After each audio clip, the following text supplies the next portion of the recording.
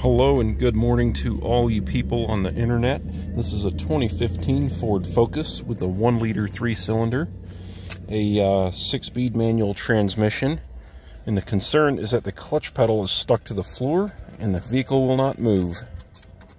Let's see if we can verify the concern. Oh, yes, yes, we can. Oh, oh fixed. All right. Okay. Oh. And it does appear that the um, clutch is actually uh, not releasing too, so. See, what watch this. I'm going to try, it's all the way down and uh, won't go into gear. All right. So a little backstory on this one. It was here a week or two ago for the same concern, and I could not duplicate the concern. And I opened the uh, reservoir for the clutch fluid, and it was black. It was very worn. Um, and almost like there was like piston seal debris in it from the master slave cylinder.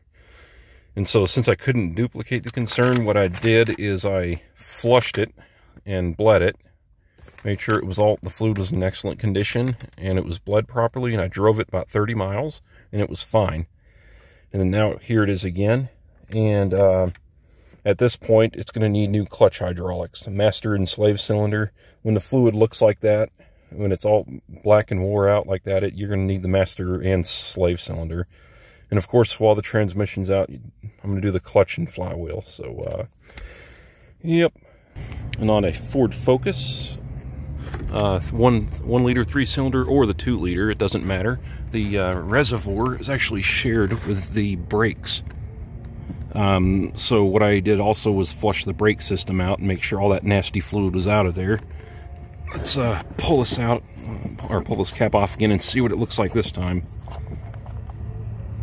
Um it's more clean than it was last time but uh, it's starting to get a little bit of a shade to it there so uh, I'm going to flush it again when I uh, fix the transmission, the uh, clutch I mean, master and slave. Yeah, the uh, slave cylinder is internal. See, this is the uh, line going in, and this is the bleeder right here, so it's internal.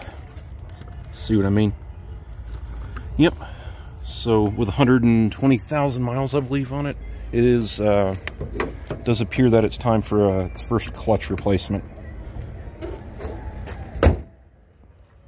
Okay. Well, I hope this video helps somebody out with this uh, same concern here.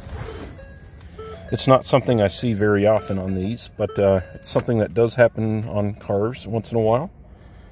And you're not the only one, obviously. All right, thank you for watching. Hit that button that looks like this and, uh, and the subscribe button. And I hope you enjoyed and have a fantastic day.